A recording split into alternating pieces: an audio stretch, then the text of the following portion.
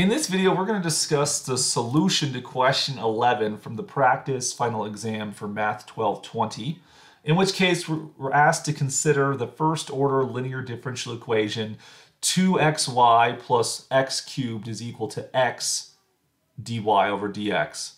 And no, this question actually comes with two parts. The first part is just to compute the integrating factor associated to this linear equation, and then we're going to use that integrating factor to solve the, the differential equation.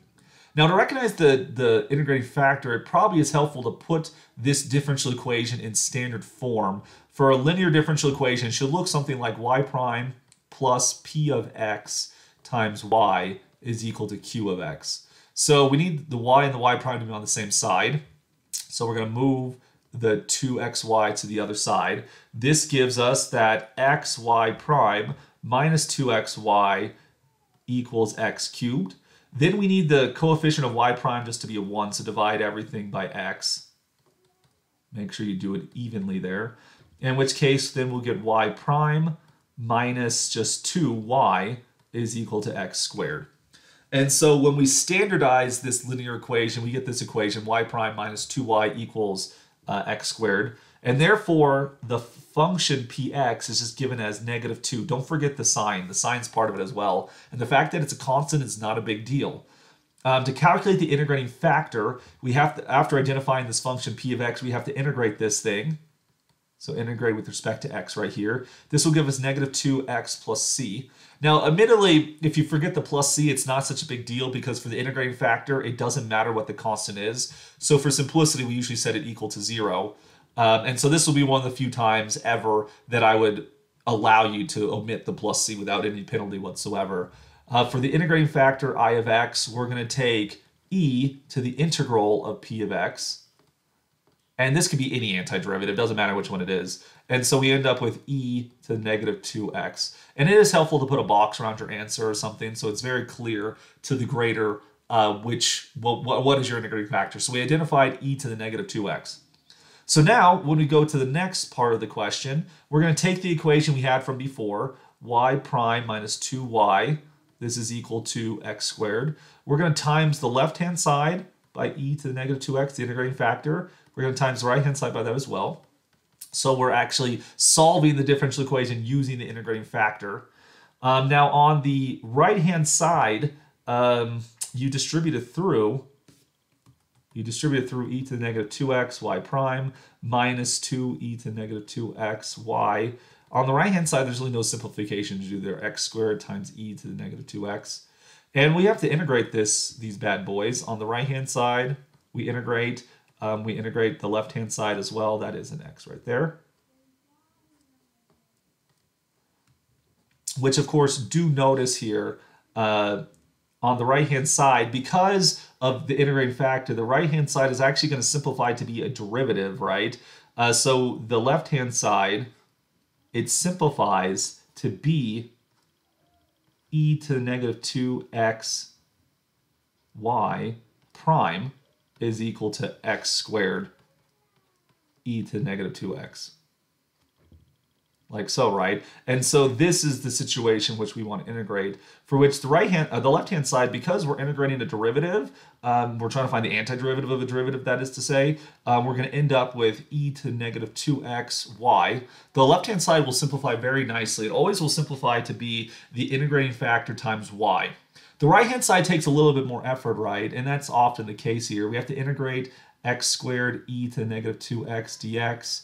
Uh, on this one, I feel like integration by parts is probably the direction we want to go here.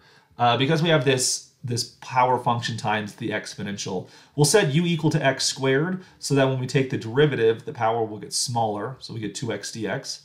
And then we're going to set the, the exponential as the dv, e to the negative 2x dx. Because whether you take the derivative or antiderivative of exponential, it's going to be basically the same thing we end up with negative 1 half e to the negative 2x, like so.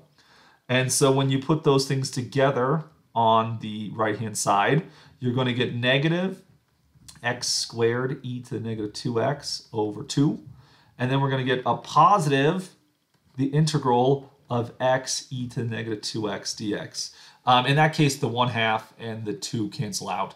and the, the usual the usual negative sign that shows up with the uh, integration by parts formula also uh, it becomes a plus here because it's a it's a double negative in that situation. So now we have to we have to evaluate the integral of x e to the negative 2x. This will be very similar to what we just did a moment ago, and your integration by parts will be very similar. It, should should be u equals the uh, u, equals the monomial because every time you take the derivative, it decreases by 1. du will become dx. And then anti-differentiate the exponential again. Don't swap the roles. dv equals e to the negative 2x dx. So v equals, again, negative 1 half e to the negative 2x. So putting all of those things in there, we get that e to the negative 2x y equals x squared e to the negative 2x over 2. Uh, that should be a negative x squared there. And then uh, doing this next one, we're going to get another u and v. So we get a minus x e to the negative 2x over 2 again. And now finally we're going to get a plus, again there's a double negative there, integral uh, of 1 half e to the negative 2x dx. And so this last one we have to do the integral one more time. Uh, we've done the antiderivative of e to the negative 2x enough times, we should probably be pretty comfortable with it. E to the negative 2xy equals negative x squared e to the negative 2x over 2. Just copying things down from above. Negative x e to the negative 2x over 2 and then finally, we're going to get a negative 1 fourth because you get another 1 half that combines with the 1 half that's already there. e to the negative 2x. And now you do need your plus c plus a constant here.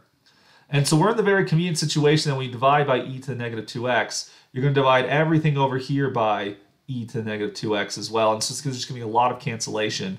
And so in the end, we end up with y, y equals, whoops, y equals we're going to get a negative x squared over 2 because the e to the negative 2x canceled out in that situation when we divided it through. Then we're going to go minus x over 2, same thing. The e to the negative 2x cancels out. Then we're going to get a minus 1 fourth, same reason as before, right? The e to the negative 2x cancels out. But in this situation, then we're going to get c times e to the 2x like so because if you divide by a net uh, by e to the negative 2x that that negative exponent in the denominator is redundant so it comes up and becomes a positive and therefore we now have the solution to our differential equation uh, which you now see highlighted right here uh, y equals negative 1 half x squared minus 1 half x minus 1 fourth plus c, some arbitrary constant, times e to the 2x. We do not have an initial value, so we can't determine what that constant is. We'll just leave it as an arbitrary constant for this one. And this shows us how to solve this differential equation using integrating factors. Now, be aware that if since this is a two-part question, um, if your first part was correct, but then the second part you made some mistakes. You still, of course, to get credit for the first one, and then you might get some partial credit on part B based upon what the error was. Now, on the other hand, if you calculated the incorrect integrating factor on part A, but then use that incorrect integrating factor correctly for part B solving the differential equation, if your solution is correct based upon the incorrect integrating factor, you can still get full points for part B even though you lost some points on part A. And that's one of the reasons why this is broken up into two parts, to try to protect uh, your score based upon some potential errors that one could make. But of course, if you have a correct integrating factor and you solved it correctly, you would get the full points right there. Um, this version of the question is certainly on the harder side because you had to do integration by parts twice, but be prepared um, with these integration techniques to solve uh, a linear differential equation for this final exam.